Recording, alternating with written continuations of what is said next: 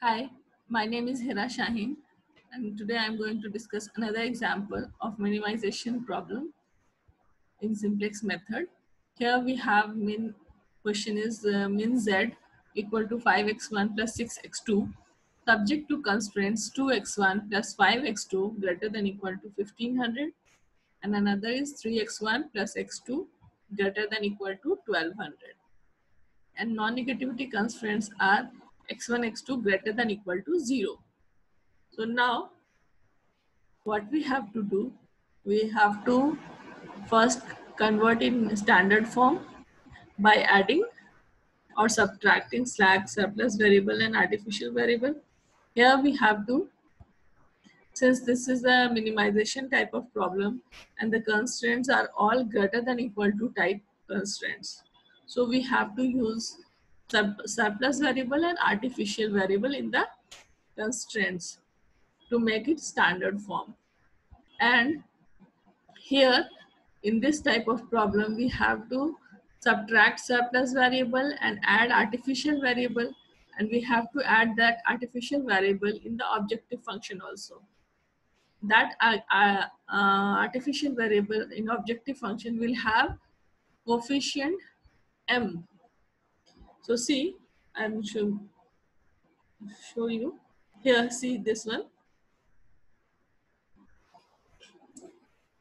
In this objective function, we use this artificial variable ma1 plus ma2.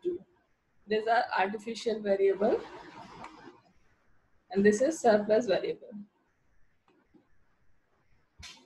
So two constraints. So we use two surplus variable s1 in the first constraint and for S2, uh, second constant we use S2. So surplus variable is subtracted. Here also an artificial variable is added. And we have to keep this artificial variable in the objective function also and we put its coefficient as capital M. As I have already told you, I have already discussed one example of big M method. So here also we are using that method, big M method. So what is this big M method? We use this coefficient of artificial variable M or capital M in the objective function. And in the objective function, slack and surplus variables coefficient remain zero. So here it is 0 coefficient, S1 and 0 coefficient with S2. So clear, moving ahead, we'll now make it stable iteration. We'll first make make its initial table. In the initial table, what we have to do, we have to make the same iteration table like we have done in the previous maximization problem uh, we have also discussed one problem or example of this kind where we have made this but the difference is that in the basic variable column we instead of keeping slack variable where we have done in maximization problem we will use artificial variable now. And in the same way we have done in the last example. See.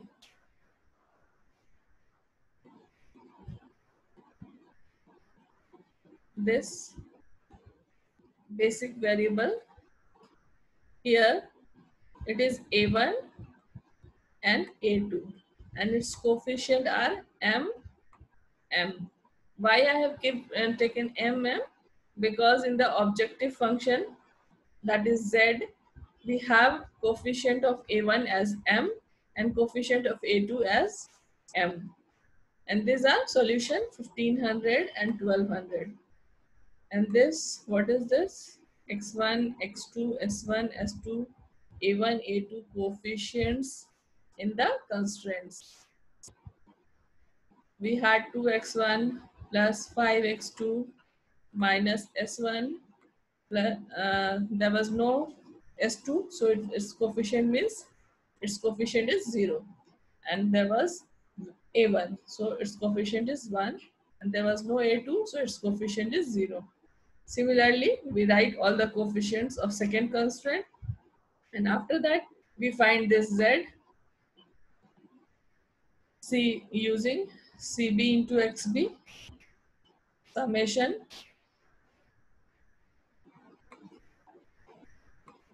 CB XB.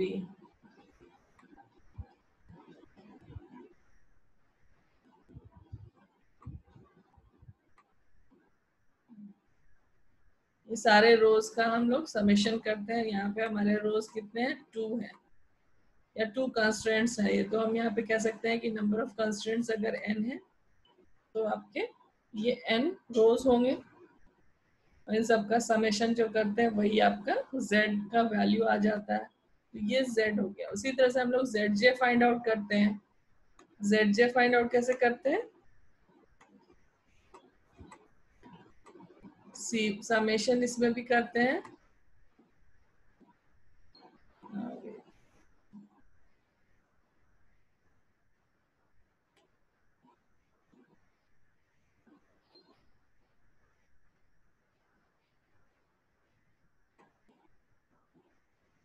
I is equal to 1 to n cb into x. We can say column wise cb i and x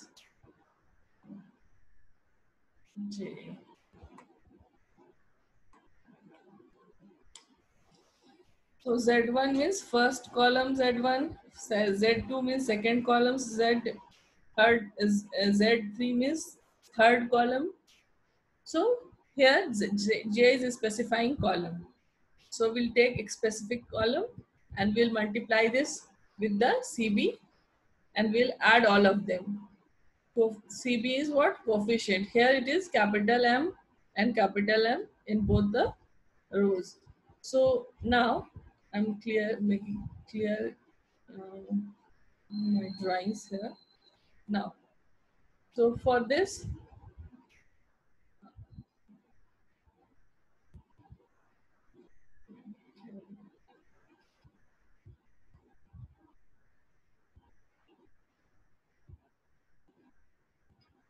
Now we'll calculate Zj uh, for this row. How we have calculated? See, 2m 2 into m plus 3 into m. So it will become 2m plus 3m that is 5m. Similarly, for this column 5m plus 1m that is 6m minus 1m plus 0m that is minus m 0m minus 1m, that, that will become minus m.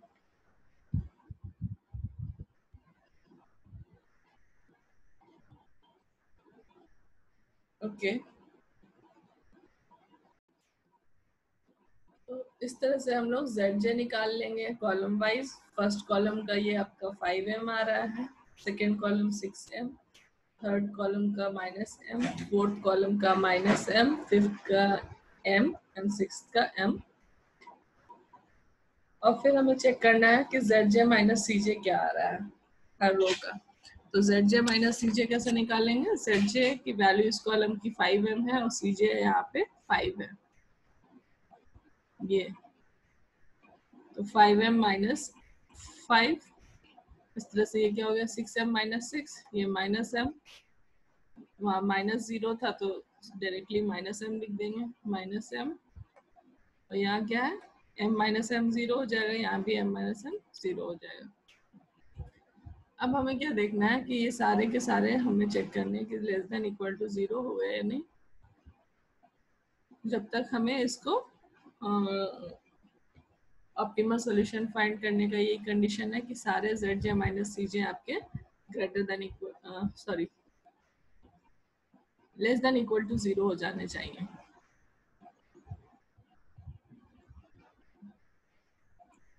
Second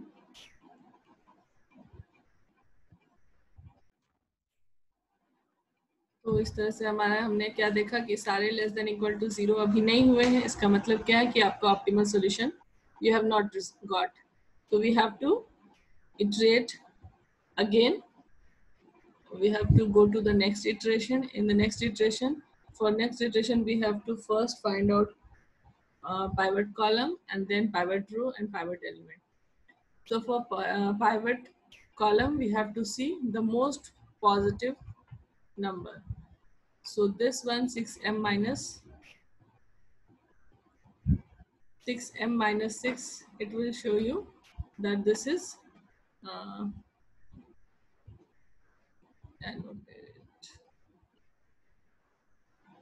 clear my drawing this is showing that this is the most positive number so this will column will be pivot column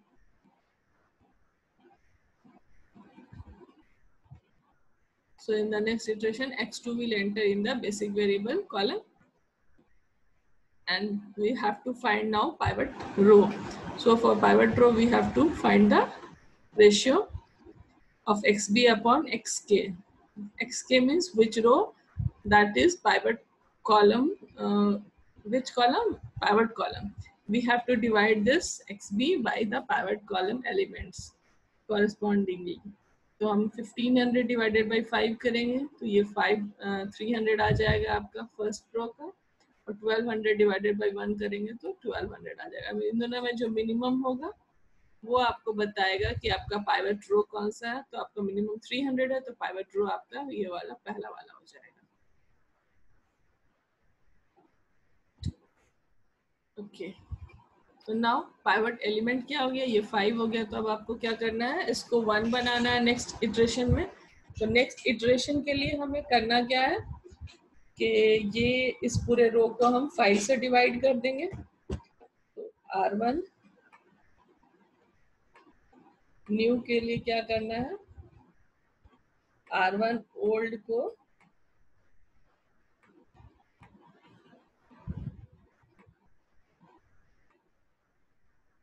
divide कर दें हम five से और are one new में डाल देंगे। और यहाँ पे एक चीज़ और ध्यान देना है कि नेक्स्ट इटरेशन में अब आपका ये x2 जो है, यहाँ पे आ जाएगा a1 की जगह पे। और a1 हट जाएँगे। और ये जब आप पूरे को 5 से डिवाइड करेंगे तो ये क्या हो जाएगा? 300 हो जाएगा। और ये 2 बाई फाइव आ जाएगा। ये वन हो जाएगा। ये माइनस वन बाई फाइव हो जाएगा। और ये ज़ीरो ही रहेगा, ये वन बाई फाइव हो जाएगा। और ये ज़ीरो। ये नेक्स्ट इटरेशन में होगा, ठीक है? उसके बाद ये हम लोग इसको अपडेट करके लिख लेते हैं। अब इसको क्या करना होता है? कि इसको हमको ज़ीरो बनाना होता है।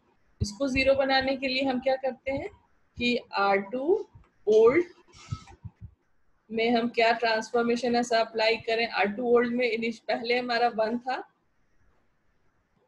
और आर वन न्यू में हमारा वन हो चुका है। तो हम आर टू ओल्ड में से आर वन न्यू को माइनस कर रहे हैं। देखिए, हमेशा हम लोग शुरू करते हैं जो आपका पाइवट एलिमेंट होता है वहाँ से। पहले उसको वन बना लेते हैं, फिर उसका यूज़ करते हुए बाकी सारे रोज को अपडेट कर लेते हैं। तो आर वन न्यू तो आपका वन हो चुका है और आर टू ओल्ड में वन था। अगर हम आर टू ओल्ड में से हम R two R two old में से आर वन न्यू सब्ट्रैक्ट कर देंगे तो हमारा वो ज़ीरो बन जाएगा। इस तरह से हम इसको आर टू को हम अपडेट कर सकते हैं। तो ये आर टू न्यू के लिए आपका इक्वेशन बन गया। ट्रांसफॉर्मेशन इसको हम पूरे रो में अप्लाई करेंगे। तो जो आर टू ओल्ड है, यहाँ पे थ्री है, यहाँ पे टू बाई फाइव है। तो three minus two by five निकाल लेंगे। इसी तरह से पूरे रो के लिए कर लेंगे। और फिर हमारा नया टेबल बन के आ जाएगा। तो मैं आपको नेक्स्ट टेबल दिखा रही हूँ।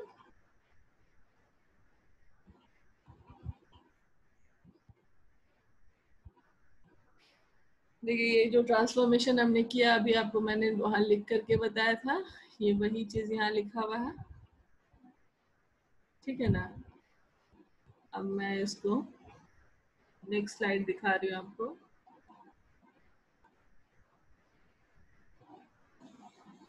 तो ये आपका नेक्स्ट स्लाइड बन के आ गया। नेक्स्ट स्लाइड में अपने अपडेटेड वैल्यूज़ को हम लोग यहाँ पे लिख लेंगे। अपडेटेड वैल्यूज़ यहाँ आ गई और यहाँ पे आपका एक्स टू एंटर हो चुका है। और अब अगेन हम क्या करेंगे? Z की वैल्यू फाइंड कर लिए और जे निकाल लेंगे सारे कॉलम्स का। जे निकालने के बाद हमें क्या करना है? J minus J find out करेंगे। जे माइनस जे निकाल लिए। देखिए, आपको करना क्या है? आप खुद से पहले बनाएँ। जब भी, भी आपको कोई प्रॉब्लम मिलता है तो आप पहले खुद से बनाएँ। यहाँ पे मैं सॉल्व करके तो बता ही रही हूँ। आप खुद से ट्राई करें। और अगर आपका सॉल्यूशन बनाने के बाद आप मैच कर लें। सॉल्यूशन अगर आ गया है तो अच्छी बात है। नहीं आया है तो आप तब आप इसमें चेक करें कि कहाँ पे आपकी गलती हुई है। क्योंकि मैंने ऐसे एग्ज़ाम्पल पहले भी बता रखे हैं। तो आपको क्या करना है, आपको देखिए, लेकिन पहले आप खुद से ट्राई कीजिए। उसके बाद अगर आपको नहीं बनता है, तब आप इसको देखिए। फिर जहाँ पे आपको समझ में आ गया कि अच्छा यहाँ गलती थी, उसके आगे से आप अपने से ट्राई कीजिए और उसके बाद आप बनाइए। तो अगेन हम यहाँ पे बता रहे थे कि जेड जे माइनस सी जे हमने सारे कॉलम्स का निकाल लिया। अब हम चेक करते हैं कि क्या हमारा ऑप्टिमल सॉल्यूशन हमें मिल चुका है। तो हम एक ऑप्टिमल सॉल्यूशन क्या है कि सारे जेड जे माइनस सी जे आपके greater than equal to zero होने चाहिए। Sorry less than equal to zero होने चाहिए पे तो अभी आपके सारे less than equal to zero नहीं है, क्योंकि कुछ पॉजिटिव भी है। ये वाला आपका मोस्ट पॉजिटिव है तो इसका मतलब क्या है कि आपको अभी ऑप्टिमल सॉल्यूशन नहीं मिला है और ये पाइवट कॉलम हो जाएगा मोस्ट पॉजिटिव वैल्यू जो होगी वो आपका ऑप्टिमल पाइवट कॉलम होगा। तो ये आपका पाइवट कॉलम हो गया। अब अगेन हमको क्या करना है आगे? रेशियो फाइंड आउट करना है। रेशियो फाइंड आउट करने के बाद हमको देखना है कि मिनिमम रेशियो कौन सा होगा। तो रेशियो कैसे फाइंड आउट करेंगे? 300 को 2 बाई फाइव से डिवाइड करेंगे। 900 को 13 बाई फाइव से डिवाइड करेंगे। और हम रेशियो फाइंड आउट कर लेंगे। यहाँ 750 है, यहाँ पे 346 पॉइंट समथिंग है। तो ये मिनिमम रेशियो हो गया। तो इससे आपको पता चला कि ये वाला रो जो है, ये क्या हो जाएगा? पाइवट रो हो जाएगा। और ये पाइवट एलिमेंट हो जाएगा। अब इसको क्या करना है? आपको वन बनाना है नेक्स्ट इटरेशन में तो क्या कर लेंगे? इसको पूरे को थर्टीन बाई फाइव से डिवाइड कर लें या फिर फाइव बाई थर्टीन से मल्टीप्लाई कर दें। तो मैं क्या करती हूँ? पहले इसको क्लियर करती हूँ। और यहाँ पे ये सेकेंड रो है। आर टू न्यू के लिए क्या कर सकते हैं हम?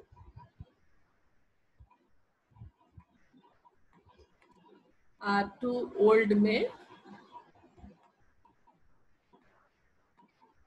फाइव बाई थर्टीन से मल्टीप्लाई कर देंगे। तो ये चीज़ हम पूरे रो पे अप्लाई कर देंगे और हम नया अपडेटेड वैल्यूज़ निकाल लेंगे। ये सेकेंड रो के लिए हो गया। इससे क्या होगा कि ये आपका, ये वन बन जाएगा। और ऐसे ही पूरे रो में निकाल लेंगे तो अपडेटेड वैल्यूज़ मिल जाएँगी। ये क्या होगा? 900 hundred into five by thirteen और जो भी आपका कट के आएगा वो यहाँ पे वैल्यू आपको लिख लेना है। अब नेक्स्ट जो काम करना है हमको इस इस रो के लिए कि इसको हमें क्या करना है? ज़ीरो बनाना है।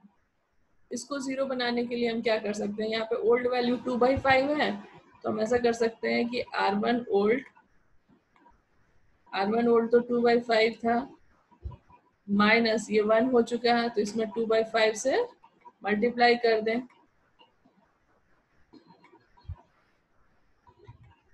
R one R two new R two new में हम टू बाई फाइव से मल्टीप्लाई कर देंगे। R one old two by five था और ये वन हो चुका है तो ये आपका वैल्यू जो है ज़ीरो हो जाएगा। इसको हमको अपडेट कर देना है आर वन न्यू में। तो ये आपका आर वन का अपडेटेड रो मिल जाएगा इससे। ये इस तरह से हम ये ट्रांसफॉर्मेशन जो आप लिखे हैं, ये पूरे रो में अप्लाई करेंगे। और पूरे रो में अप्लाई करने के बाद हम नया टेबल लिख लेंगे।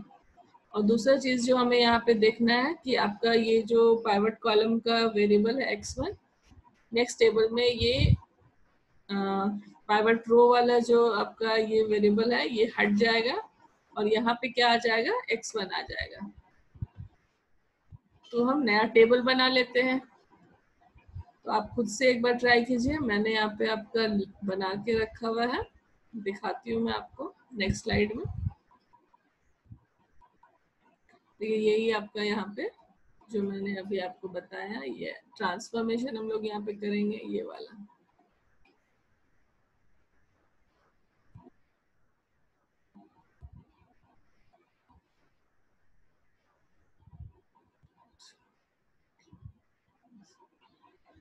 अब इस नेक्स्ट इटरेशन में यहाँ देखिए, ये आपका x2 x1 यहाँ आ चुका है, इसके कोफिशियंट यहाँ पे हम जो z इक्वेशन में इसके कोफिशियंट वो यहाँ है। और फिर X B X one X B आपका जो अपडेटेड वैल्यूज़ आ रहा है, वो हम लोगों ने लिखा है। वो ट्रांसफॉर्मेशन अप्लाई करने के बाद। ये पूरा ट्रांसफॉर्मेशन अप्लाई करने के बाद जो वैल्यूज़ आए, वो हो गया, और ये z हो गया। Z कैसे निकालते हैं? C B into X B उनका सम निकाल लेते हैं। और जेड जे निकालते हैं Z J C B into X J तो ये हो गया five six minus one minus one उसके बाद हमने निकाल लिया जेड जे माइनस सी जे तो जेड जे माइनस सी जे करेंगे तो ये फाइव माइनस फाइव ज़ीरो आ गया। ये भी ज़ीरो आ रहा है, ये माइनस वन आ रहा है, ये माइनस वन आ रहा है। तो ये सारे Z less than equal to zero आ चुके हैं सारे जेड जे माइनस सी जे आ गए तो इसका मतलब क्या है कि आपका ऑप्टिमल सोल्यूशन आपको मिल गया है तो we have to end here and we can say that our optimal solution z equal to 2700 and x1 is 5 x1 is 5 oh, sorry sorry sorry x1 is 4500 by 13 and x2 is 2100 by 13 so you can see this in the next slide i'm clearing my drawing so this is your optimal solution Since all Zj minus Cj is less than equal to 0, hence optimal solution is arrived with the variables x1 equal to 4500 by 13 and x2 is equal to 2100 by 13 and means z is equal to 2700. So इस video में इतना ही अगर आपको मेरा video पसंद आ रहा है और समझ में आ रहा है तो इसे लाइक करें शेयर करें और मेरे चैनल को सब्सक्राइब करें और बेल आइकन को ज़रूर दबा दें ताकि नेक्स्ट वीडियो की नोटिफिकेशन आपको सबसे पहले मिल सके। Thank you thanks for watching bye bye.